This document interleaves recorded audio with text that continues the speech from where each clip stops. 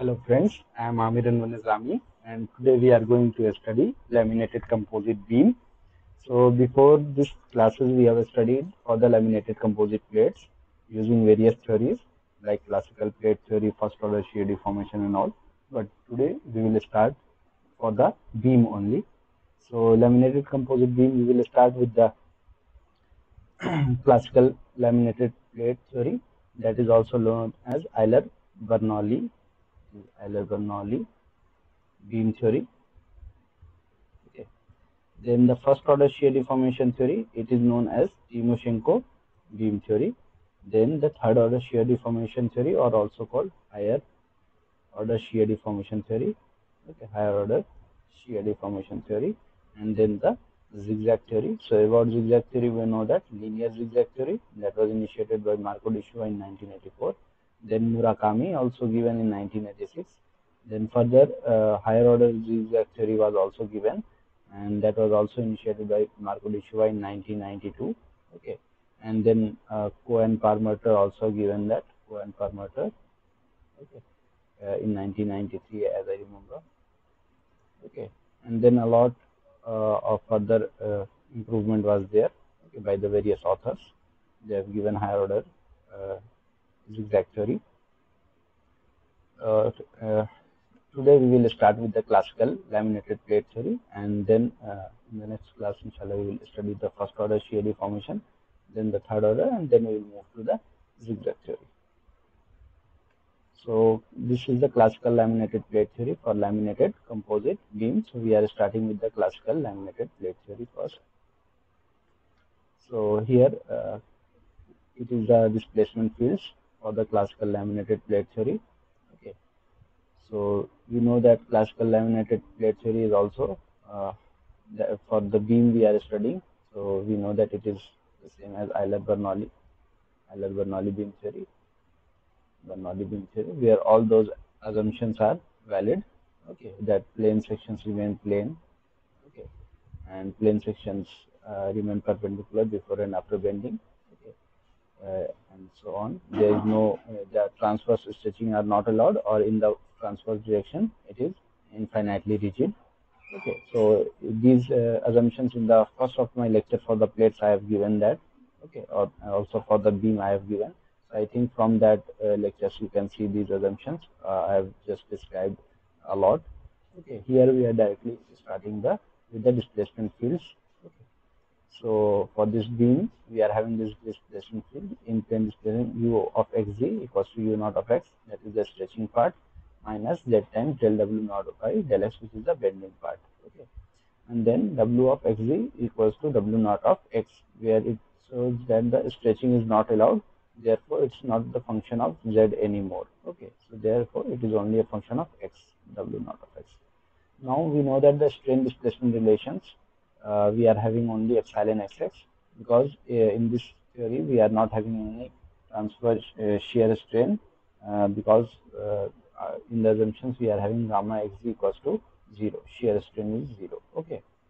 So here only the epsilon xx is available. Okay. And this epsilon zz are also 0 because there is no stretching allowed in this. Okay so remaining is only epsilon xx. So epsilon xx is uh, del u of xz by del x. Okay, this is del u by del x. So if we put this uh, u of xz, this value in it, we will get that del u naught of x by del x minus z times this. So we are getting, getting this strain, uh, strain displacement relations, and then we are having the stress strain relations that is sigma xx equals to q11 times epsilon xx where q11 uh, time uh, of k is the material properties in each layer or lamina. Okay. And then this is the epsilon xx del u naught by del x minus z times del 2 w naught by del x square. Okay. Now we will apply the principle of virtual work. So virtual work we know that internal uh, work in del epsilon of xx into sigma of k and volume integral okay where if we integrate x by z so along y we know that the width of the beam if we say that this is a beam okay. So we are having this width as b okay and the depth or thickness of the beam as h okay, and the length of the beam as l or a okay.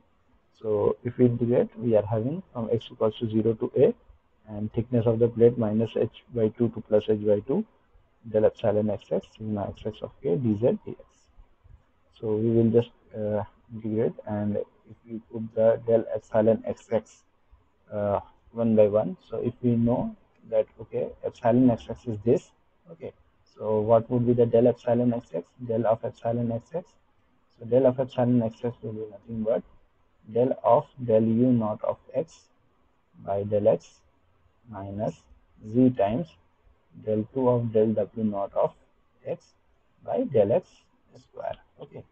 So we are just putting up one first part and second part here in this equation. So it is the first part del of del u naught by del x into sigma xx of k which is integrated from z equals to minus h by 2 to z equals to plus h by 2 dz okay. So this would be the first part. And then minus del 2 w naught by del x square okay into z into sigma xx of k dz. So if we see that okay if we integrate this sigma xx of k from this minus h by 2 plus h by 2 dz so this would be nothing but nxx okay and this would be kept as it is. Similarly here this would be kept as it is and this integration of sigma xx times z uh, integrated that is the bending mxx okay. Now uh, we know that external work done is nothing but the external load applied that is the distributed load into uh, virtual displacements in the transverse direction integral over the whole domain of the length of the beam x equals to 0 to x equals to a. Okay. Now uh, we have the net work done as equals to 0 so therefore uh, we uh, after applying the integration by parts we finally get del nxx by del s into del u naught minus this del 2 mxx by del x by del w naught minus u naught of x by b into delta w naught whole integral. So from here we will get, so after this uh, we will just uh, select the coefficients uh, of del u naught and then del w naught. So del u naught we are having only this. So the first governing equation is del mx by del x equals to 0 and then the second governing equation choosing the coefficient of delta w naught is del 2 mxx by del x square minus q naught of x by b that is equals to 0 okay. So now nxx and ny uh, mxx we know that nxx is nothing but uh, integral nothing but integral of sigma xx with respect to z. It is integral of k dz. Okay.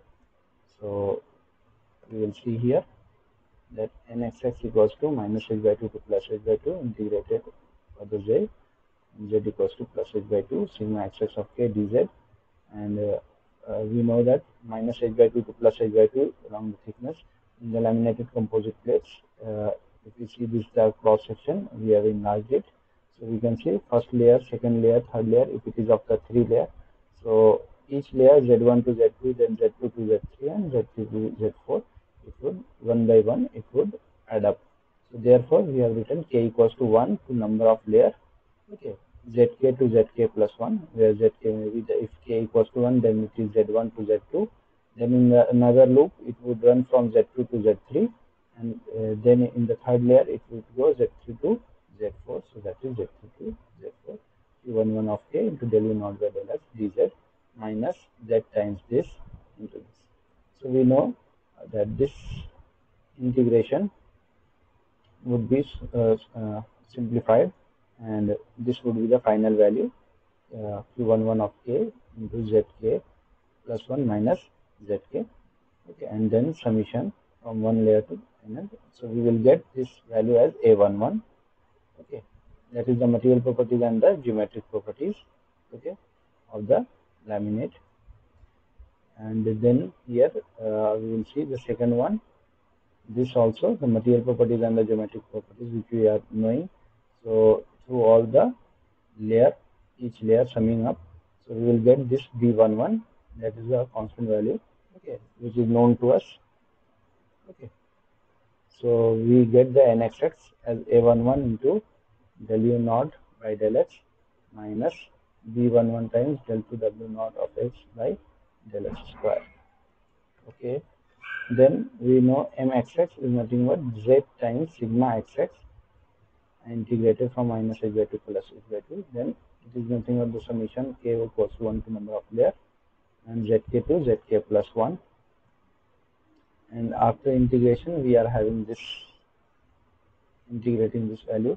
So we'll get this d11 and this as d11 which is known to us the material properties and the geometric properties and this del u naught by del x and del 2 w naught by del x square. Okay. Now substituting back equation 10 and 11 in equation 8 and 9 okay. So this is equation 11 and this is equation 10 which is nxx okay. So we are putting back in equation 8 and 9 so nxx we are putting here nxx value and then equation 11 in equation 9 and mxx so finally we are getting this governing equation a11 times del 2 u naught by del x square minus b11 times del 3 w naught by del x cube and similarly b11 times del 3 u naught by del x cube minus d11 and del 4 w naught by del x to the power 4 equals to q naught x by d. So we are getting this governing equation of beam using the classical laminated plate theory. So further we can also say that we here only uh, we we are having u of x u of xz okay in plane displacement we will get the plot for the in plane displacements. Then w of xz is nothing but w naught of x only. So we will get the uh, transverse displacements. Okay and uh, we have also epsilon xx and then we are having sigma xx okay but uh, we didn't have the gamma xz or we can say that is zero from the constitutive equations. Therefore sigma xz also from the constitutive equation constitutive equation we get this also equals to zero. Okay. But we know that uh, from the equilibrium equations from integration of the integrating equilibrium equations equilibrium equations equations we get sigma xz also. And uh, that is if we integrate del sigma xz by del x uh, del sigma xx by del x plus del sigma xz by del z okay equals 0 therefore del sigma xz by del z equals minus of del sigma xx by del x okay. And then integrating both sides with respect to z or dz. dz. Integrating with respect to both sides dz. So finally we will get sigma xz would be equals to and which is function of x and z both. So therefore integrating this uh, we will get some constant value. Okay. Which would be function of x and minus just integrating that del sigma by del x with respect to dz so we will have this. Okay. So from here we will find the sigma xz so from the equilibrium equations we will get that. Okay. So now uh, we will see the MATLAB code for this. So here the MATLAB code is written for the laminated composite beam using classical laminated plate theory where the length of the uh, beam is given and the width of the beam is given. Okay. So uh, now we will run this. I think this is not required here and this is also not required here okay so we will run here let's see what the results we are getting.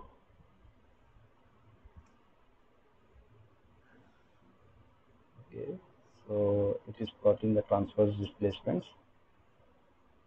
Then it is plotting the in-plane displacements. Okay then it is sigma xx it is plotting then I think it is sigma xz using the equilibrium equations. Okay so these four plots this fi final plot is for the transverse shear stress sigma xz which is uh, calculated using the equilibrium equations integrating the equilibrium equations. Okay. Then we are having this sigma xx that is the in plane stress. So it is in plane normal stress. We are having this sigma xx value. Then we are having the in plane displacements u of xz okay that is shown here for the three layer which is the inceptions remain plane before and after bending okay so the drawback is that it does not catch uh, the warping effect. Okay or the zigzag effect of the plane. And this is the constant transverse displacements. So we are ending here and inshallah in the next lecture we will study the first of order shear deformation theory for the laminated composite beam and then further third order and zigzag theory we will see. Okay thank you